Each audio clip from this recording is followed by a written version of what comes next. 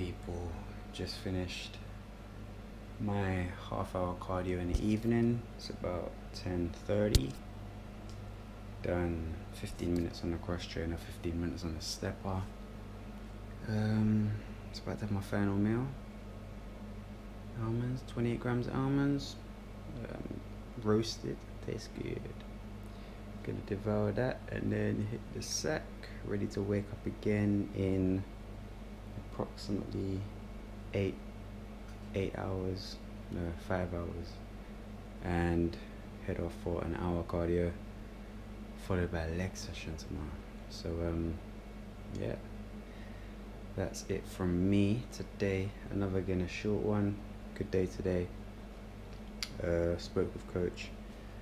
We was gonna do another refeed today but kind of suggested um we after more analysis we thought yeah we'll give it another four or five days or so and then kind of see where we're at in terms of that. Um, gonna weigh myself tomorrow so i'll let you guys know.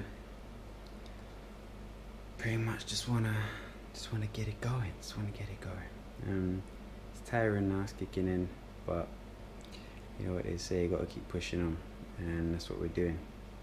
So we're gonna have my almonds uh, my digestive enzymes and then hit the so yeah talk to you guys tomorrow.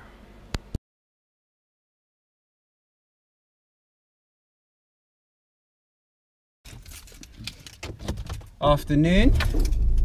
Another day another step closer. Um, morning weight today is 176.2 pounds which is good. We are on track. Um, so yeah feeling good. Cardio this morning complete. An hour um, low intensity. And now we're off to hit legs. Big leg session coming up. Uh, loads of drop sets. So it's gonna be brutal. But that's what we like. We like brutal. Brutal's good. Um what else do i have to say? Basically feeling good. Feeling positive feeling tired definitely. Um and i ah, and yeah it's kind of like two weeks out. Um there's not let's take let's do it this way. At the moment it feels like the only energy i have is is, is very minimal.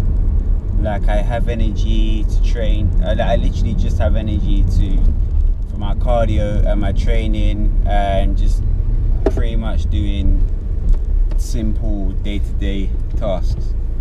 Um, which is a reason why i've kind of not overloaded myself with too much too much work with um, one-to-one clientele training and they understand the reason why. And we will resume once my comp's over because I always want to deliver the best kind of service possible. Um, I want to be 100% focused on clients when it comes to them which I am in perspective.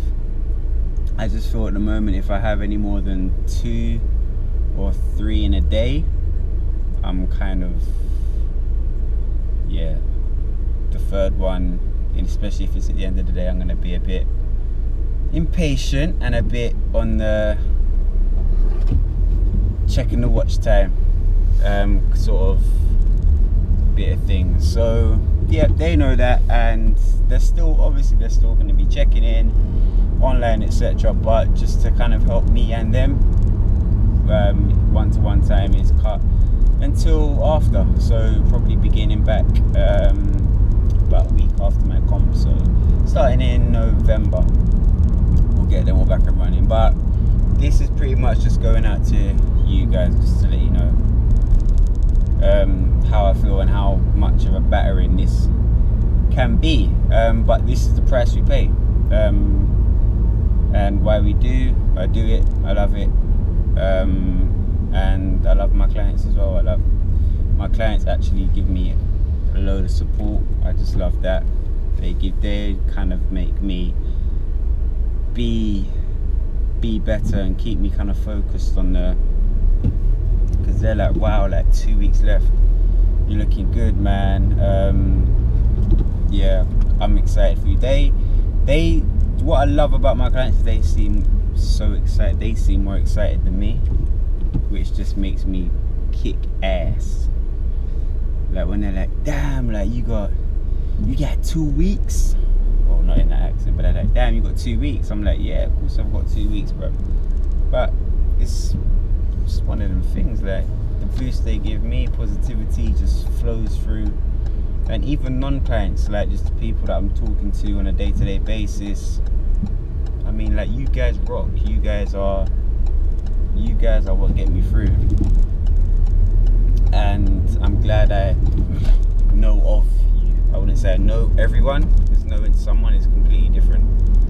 Um, but I know of you, and I'm glad that you've kind of you've been a part. I, a lot of people I haven't I haven't helped you in this journey. I'm like, trust me, have. Like, even if I've spoke to you once, you've probably helped me do something that I may not have done or may have done half-heartedly, or you you know what I'm trying to say. But yeah, there's a lot of people that I'm thankful for that have kind of helped me. Um, a bit of a soppy one, um, but it's true, guys. Like guys and girls, you've all something. There's always something that in day to day inspires me, and it just keeps me focused. Like I have to, I have to be thankful that I'm able to do what I'm able to do. Um, and that I'm able to give back in an industry that has helped me and kind of share my knowledge, share my expertise, and just help a load of other people that have come from sort of a, in terms of nutrition and training aspect, they've kind of come from that same dilemma, same background as me, um, especially when it comes to uh, eating so low calories and wanting to be in great shape, you have to kind of sacrifice something at some point.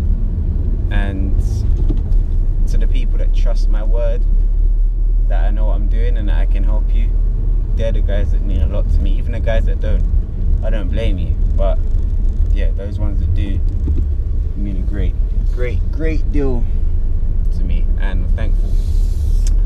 So yeah, heading into leg day, and we're just gonna get it done pretty much. So I shall try and get some footage but I will catch up with you guys soon